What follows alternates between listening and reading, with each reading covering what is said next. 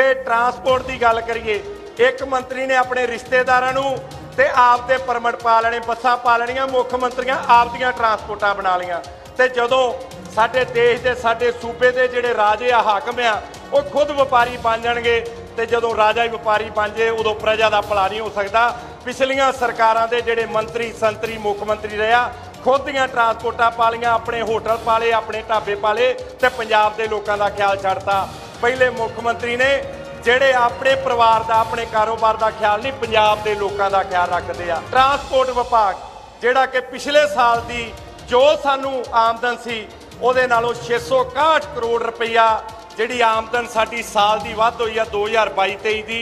ਜੇ ਸਾਡੇ excise department ਦੀ ਗੱਲ ਕਰੀਏ 41% ਉਹਦੇ ਵਿੱਚ ਵੀ ਮੁਨਾਫਾ ਆ ਪਿਛਲੀ ਸਰਕਾਰ ਨਾਲੋਂ। ਪਹਿਲੀ ਵਾਰ ਹੋਇਆ ਕਿ ਲੋਕਾਂ ਦੇ ਮੁਤਾਬਕ ਬਜਟ ਪੇਸ਼ ਕੀਤਾ ਗਿਆ। ਲੋਕਾਂ ਦੇ ਮੁਤਾਬਕ ਪੰਜਾਬ ਦੇ ਲੋਕਾਂ ਦੀ ਖੇਤੀਬਾੜੀ ਪਾਲਿਸੀ ਕਿਸਾਨਾਂ ਦੇ ਮੁਤਾਬਕ ਪੇਸ਼ ਕੀਤੀ ਜਾ ਰਹੀ ਆ ਤੇ ਸਾਡਾ ਟਰਾਂਸਪੋਰਟ ਵਿਭਾਗ, ਜਿਹੜਾ ਕਿ ਪਿਛਲੇ ਸਾਲ ਦੀ ਜੋ ਸਾਨੂੰ ਆਮਦਨ ਸੀ, ਉਹਦੇ ਨਾਲੋਂ 661 ਕਰੋੜ ਰੁਪਈਆ ਜਿਹੜੀ ਆਮਦਨ ਸਾਡੀ ਸਾਲ ਦੀ ਵੱਧ ਹੋਈ ਆ 2022-23 ਦੀ, ਇਹ ਵੀ ਦੇਣ ਮੁੱਖ ਮੰਤਰੀ ਪੰਜਾਬ ਸਰਦਾਰ ਭਗਵੰਤ ਸਿੰਘ ਮਾਨ ਅਗਵਾਈ ਦੇ ਵਿੱਚ ਹੋਈ ਆ। ਹਰੇਕ ਮਹਿਕਮਾ ਜਿਹੜਾ ਤਰੱਕੀ ਵਾਲੇ ਪਾਸੇ ਗਿਆ, ਜੇ ਸਾਡੇ ਐਕਸਾਈਜ਼ ਡਿਪਾਰਟਮੈਂਟ ਦੀ ਗੱਲ ਕਰੀਏ 41% ਉਹਦੇ ਵਿੱਚ ਵੀ ਮੁਨਾਫਾ ਆ ਪਿਛਲੀ ਸਰਕਾਰ ਨਾਲੋਂ। ਤੇ ਆਪਾਂ ਵੇਂਦੇ ਰਹੇ ਪਿਛਲੀਆਂ ਸਰਕਾਰਾਂ ਦੇ ਵਿੱਚ, ਜੇ ਸ਼ਰਾਬ ਦੇ ਠੇਕੇ ਜਾਂ ਬੱਸਾਂ ਦੇ ਅੱਡਿਆਂ ਦੇ ਟੈਂਡਰ ਮਿਲਨੇ ਉਹ ਕਿਤੇ ਨਾ ਕਿਤੇ ਪਿਛਲੀਆਂ ਸਰਕਾਰਾਂ ਦੇ ਜਿਹੜੇ ਚੇਤੇ ਸਨ ਜਾਂ ਮੰਤਰੀਆਂ ਦੇ ਸਾਥੀ ਸਨ, ਉਹਨਾਂ ਨੂੰ ਦੇ ਦਿੱਤੇ ਜਾਣੇ। ਮੁੱਖ ਮੰਤਰੀ ਸਾਹਿਬ ਨੇ ਨਾ ਤੇ ਕੋਈ ਆਪ ਟੈਂਡਰ ਲੈਣਾ, ਨਾ ਕਿਸੇ ਆਪ ਦੇ ਰਿਸ਼ਤੇਦਾਰ ਨੂੰ ਦੇਣਾ।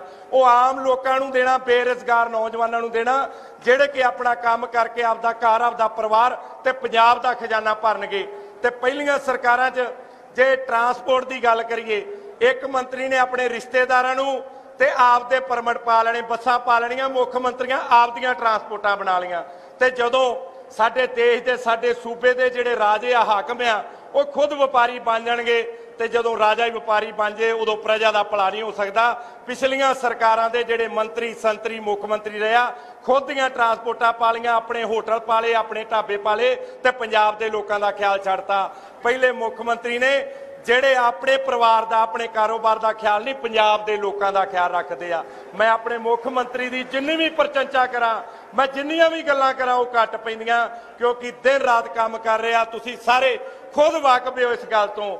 ਉਹ ਫਤਵਾ ਜਿਹੜਾ ਜਲੰਧਰ ਦੇ ਲੋਕਾਂ ਨੇ ਦੇ ਕੇ ਵੀ ਸਾਬਤ ਕਰਤਾ ਕਿ ਇੱਕ ਸਾਲ, ਇੱਕ ਦੋ ਮਹੀਨਿਆਂ ਦੇ ਕੰਮਾਂ ਨੂੰ ਜਿਤਾਇਆ ਜਿਹੜੀਆਂ ਪਿਛਲੀਆਂ ਸਰਕਾਰਾਂ ਉਹਨਾਂ ਦੇ 5-5 ਸਾਲਾਂ ਦੇ ਕੰਮ ਰਾਏ, ਕਿਉਂਕਿ ਉਹਨਾਂ ਕੀਤਾ ਹੀ ਕੁਝ ਨਹੀਂ ਸੀ। ਜੇ ਕੰਮ ਕੀਤੇ ਆ ਤੇ ਸਰਦਾਰ ਭਗਵੰਤ ਸਿੰਘ ਮਾਨ ਨੇ ਕੀਤੇ ਆ।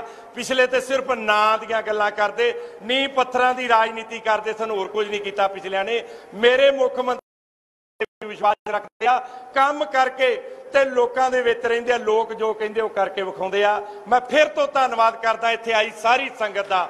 ਪਟਿਆਲੇ ਜ਼ਿਲ੍ਹੇ ਦੇ ਇੱਕ ਇੱਕ ਵਰਕਰ ਦਾ, ਪਟਿਆਲੇ ਜ਼ਿਲ੍ਹੇ ਦੇ ਇੱਕ ਇੱਕ ਅਫਸਰ ਦਾ ਐਸਐਸਪੀ ਸਾਹਿਬ ਦਾ ਡੀਸੀ ਸਾਹਿਬ ਦਾ, ਸਾਡੇ ਐਮਡੀ ਜਿਹੜੇ ਪੀਆਰਟੀਸੀ ਦੇ ਨੇ, ਚੇਅਰਮੈਨ ਸਾਹਿਬ ਪੀਆਰਟੀਸੀ ਦੇ। ਜੇ ਕਿਸੇ ਦਾ ਨਾਂ ਲੈਣੋ, ਮੇਰੇ ਤੋਂ ਰਹਿ ਗਿਆ ਹੋਵੇ ਤਾਂ ਮਾਫ ਕਰਨਾ। ਮੈਂ ਸਾਰਿਆਂ ਦਾ ਧੰਨਵਾਦ ਕਰਦਾ ਤੇ ਸਭ ਤੋਂ ਵੱਧ ਧੰਨਵਾਦ ਮੈਂ ਮੁੱਖ ਮੰਤਰੀ ਸਾਹਿਬ ਦਾ ਕਰਦਾ। ਜਿਨ੍ਹਾਂ ਨੇ ਆਪਾਂ ਨੂੰ ਪਟਿਆਲੇ ਦਾ ਜਿਹੜਾ ਬੱਸ ਸਟੈਂਡ ਉਹ ਲੋਕਾਂ ਦੇ ਹਵਾਲੇ ਕੀਤਾ ਤੇ 25 ਕਰੋੜ ਲਗਭਗ 25 ਕਰੋੜ ਦੀ ਲਾਗਤ ਨਾਲ ਜਿਹੜਾ ਜਿਹੜਾ ਸਾਡਾ ਪਾਣੀ ਦਾ ਇੱਥੇ ਪ੍ਰੋਜੈਕਟ ਰੱਖਿਆ, ਉਹਦਾ ਵੀ ਨੀਂਹ ਪੱਥਰ ਰੱਖਤਾ। ਵੱਡਾ ਵੱਡਾ ਪ੍ਰੋਜੈਕਟ ਦਿੱਤਾ ਅੱਜ ਪਟਿਆਲੇ ਦੇ ਲੋਕਾਂ ਨੂੰ। ਮੈਂ ਸਾਰੀ ਆਈ ਸੰਗਤ ਦਾ, ਮੁੱਖ ਮੰਤਰੀ ਸਾਹਿਬ ਦਾ ਬਹੁਤ ਬਹੁਤ ਧੰਨਵਾਦ ਕਰਦਾ ਵਾਹਿਗੁਰੂ ਜੀ ਕਾ ਖਾਲਸਾ, ਵਾਹਿਗੁਰੂ ਜੀ ਕੀ ਫਤਿਹ। ਪੰਜਾਬ ਦੇ ਲੋਕਾਂ ਦੀ ਦਿਲਾਂ ਦੀ ਧੜਕਣ। ਸਾਡੇ ਹਰਮਨ ਮੁੱਖ ਮੰਤਰੀ ਸਰਦਾਰ ਭਗਵੰਤ ਸਿੰਘ ਮਾਨ ਜੀ ਸਟੇਜ ਤੇ ਬਿਰਾਜਮਾਨ ਮੇਰੇ ਕੈਬਨਿਟ ਕਲੀਗ, ਟਰਾਂਸਪੋਰਟ ਮੰਤਰੀ ਲਾਲਜੀਤ ਭੁੱਲਰ ਜੀ, ਚੇਤਨ ਜੋੜਾ ਮਾਜਰਾ ਜੀ, ਮੇਰੇ ਐਮਐਲਏ ਸਹਿਯੋਗੀ ਅਜੀਤਪਾਲ ਕੌਲੀ ਜੀ, ਹਰਮੀਤ ਬਾਜੀਗਰ ਸਾਹਿਬ, ਕੁਲਵੰਤ ਬਾਜੀਗਰ ਜੀ, ਨੀਨਾ ਮਿੱਤਲ ਜੀ, ਗੁਰਲਾਲ ਘਨੌਰ ਜੀ, ਦੇਵ ਮਾਨ ਜੀ ਔਰ ਸੇ- ਸਾਰੇ ਪਤਵੰਤੇ ਸੱਜਣ ਮੁਖਵਿੰਦਰ ਸੀਨਾ ਜੀ, ਬਲਤੇਜ ਪੰਨੂ ਜੀ ਸਾਡੇ ਬਹੁਤ ਹੀ ਸਤਿਕਾਰਯੋਗ ਮੀਡੀਆ ਸਲਾਹਕਾਰ ਸਾਡੇ ਐਸਐਸਪੀ ਸਾਹਿਬ ਡੀਸੀ ਮੈਡਮ ਸਾਕਸ਼ੀ ਸਾਨੀ ਇਹਨਾਂ ਦੀ ਸਮੂਹ ਟੀਮ ਸਰ, ਸਭ ਤੋਂ ਜ਼ਿਆਦਾ ਮੈਂ ਸਭ ਤੋਂ ਪਹਿਲਾਂ ਤੁਹਾਡਾ ਧੰਨਵਾਦ ਕਰਦਾ ਕਿ ਤੁਸੀਂ ਪਟਿਆਲੇ ਤੇ ਬਹੁਤ ਮਿਹਰਬਾਨ ਹੋ। ਸਾਡੇ ਲੋਕਾਂ ਦੀ ਇਹ ਬਹੁਤ ਪੁਰਾਣੀ ਮੰਗ ਸੀ ਕਿ ਜਿਹੜਾ ਸਾਡਾ ਬੱਸ ਸਟੈਂਡ ਹੈ, ਉਹ ਸ਼ਹਿਰ ਦੇ ਵਿੱਚ ਹੈ ਕੰਜੈਸਟਡ ਏਰੀਆ ਦੇ ਵਿੱਚ ਹੈ। ਲੋਕਾਂ ਨੂੰ ਬਹੁਤ ਸਾਰੀਆਂ ਦਿੱਕਤਾਂ ਆਉਂਦੀਆਂ ਸੀ। ਔਰ ਤੁਸੀਂ ਸਾਨੂੰ ਜਿਹੜਾ ਇੱਕ 에ਅਰਪੋਰਟ ਵਰਗਾ ਬੱਸ ਸਟੈਂਡ ਦਿੱਤਾ ਜੋ ਕਿ ਮੈਨੂੰ ਲੱਗਦਾ ਕਿ ਅੱਜ ਦੀ ਡੇਟ ਵਿੱਚ ਪੰਜਾਬ ਦੇ ਕਿਸੇ ਵੀ ਬੱਸ ਸਟੈਂਡ ਤੋਂ ਸਭ ਤੋਂ ਸੋਹਣਾ ਸਾਨੂੰ ਬੱਸ ਸਟੈਂਡ ਦਿੱਤਾ, ਅਸੀਂ ਉਹਦੇ ਲਈ ਤੁਹਾਡਾ ਧੰਨਵਾਦ ਕਰਦੇ ਹਾਂ। ਸਰ, ਜਿੰਨੇ ਸਟੇਜ ਤੇ ਬਿਰਾਜਮਾਨ ਹੈ ਅਸੀਂ ਜਿਨ੍ਹਾਂ ਕਰਕੇ ਬਿਰਾਜਮਾਨ ਹੈ ਸਾਰੇ ਜਿੰਨੇ ਸਾਹਮਣੇ ਬੈਠੇ ਹੋਏ ਆ, ਇਹ ਸਰਦਾਰ ਭਗਵੰਤ ਸਿੰਘ ਮਾਨ ਜੀ ਦੇ ਆਸ਼ਿਕ ਹੈ ਜਿੰਨੇ ਸਾਡੇ ਅਹੁਦੇਦਾਰ ਹੈ ਜ਼ਿਲ੍ਹਾ ਪ੍ਰਧਾਨ, ਅਲੱਗ-ਅਲੱਗ ਵਿੰਗਾਂ ਦੇ ਪ੍ਰਧਾਨ, ਸਾਡੇ ਵਲੰਟੀਅਰ ਸਰ, ਜਲੰਧਰ ਦੇ ਵਿੱਚ ਸਾਨੂੰ 35% ਵੋਟ ਪਈ ਹੈ। ਪਟਿਆਲੇ ਦੀ ਟੀਮ ਸੀ ਇਹਨਾਂ ਨੇ, ਆਦਪੁਰ ਵਿੱਚ ਜਾ ਕੇ ਇੰਨਾ ਵਧੀਆ ਕੰਮ ਕੀਤਾ ਕਿ ਸਾਨੂੰ 35% ਵੋਟ ਪਈ ਹੈ, ਸਰ।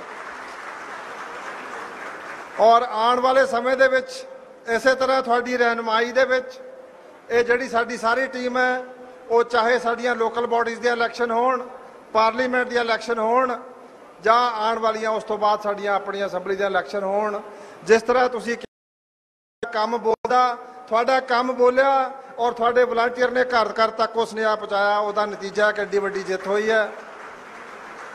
ਸਰ ਮੈਂ ਜ਼ਿਲ੍ਹਾ ਪ੍ਰਸ਼ਾਸਨ ਦਾ ਉਚੇਚੇ ਤੌਰ ਤੇ ਧੰਨਵਾਦ ਕਰਦਾ ਕਿ ਉਹਨਾਂ ਨੇ ਮਿਹਨਤ ਕੀਤੀ ਆ ਔਰ ਜਿਹੜੇ ਸਾਡੇ ਐਮਡੀ ਜਿਹੜੇ ਸਾਡੇ ਪੀਆਰਟੀਸੀ ਦੇ ਚੇਅਰਮੈਨ ਹੜਾਣਾ ਜੀ ਔਰ ਚੇਅਰਮੈਨ ਪੀਆਰਟੀਸੀ ਐਮਡੀ ਪੀਆਰਟੀਸੀ ਔਰ ਸਾਡੇ ਜਿਹੜੇ ਮੰਡੀ ਬੋਰਡ ਦੇ ਚੇਅਰਮੈਨ ਹਰਚੰਦ ਬਰਸਟ ਜੀ, ਮੈਂ ਉਹਨਾਂ ਦਾ ਵੀ ਉਚੇਚੇ ਤੌਰ ਤੇ ਧੰਨਵਾਦ ਕਰਦਾ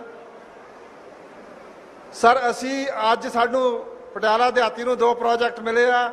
ਕੋਹਲੀ ਸਾਹਿਬ ਨੂੰ ਥੋੜੇ ਜਿਹਾ ਨਾਰਾਜ਼ ਲੱਗ ਰਹੇ ਆ ਕਿਉਂਕਿ ਬੱਸ ਸਟੈਂਡ ਇਹਨਾਂ ਕੋਲੇ ਸੀਗਾ, ਹੁਣ ਇੱਧਰ ਆ ਗਿਆ ਜੀ ਇਹ।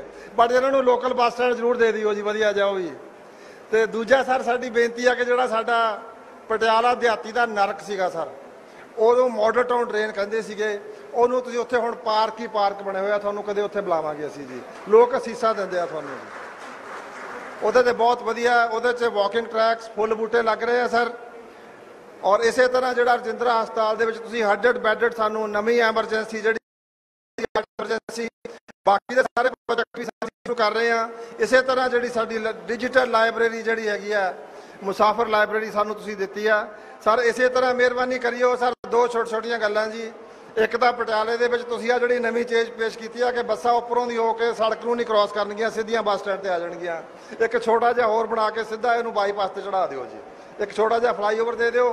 ਥੋੜਾ ਜਿਹਾ ਸਾਡਾ ਜਿਹੜਾ ਇਹ ਸਾਡਾ ਬਾਈਪਾਸ ਹੈਗਾ ਜੀ। ਇਹਨੂੰ ਇਹ- ਇਹਦਾ ਫੋਰ ਲੇਨਿੰਗ ਹੋਣ ਦੀ ਲੋੜ ਹੈ ਬਸ ਇਹ ਦੋ ਕੰਮ ਹੋ ਜਾਣ, ਸਾਡਾ ਇਹ ਪ੍ਰੋਜੈਕਟ ਕੰਪਲੀਟ ਹੋ ਜਾਏਗਾ।